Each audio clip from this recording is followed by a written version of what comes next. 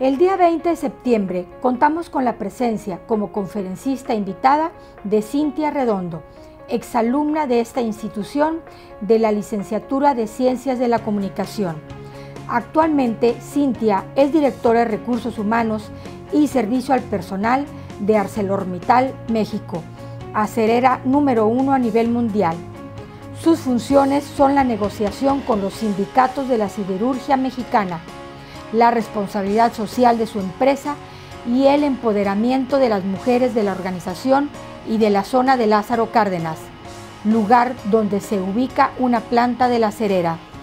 El tema de la conferencia fue la estrategia de capital humano para el logro de objetivos.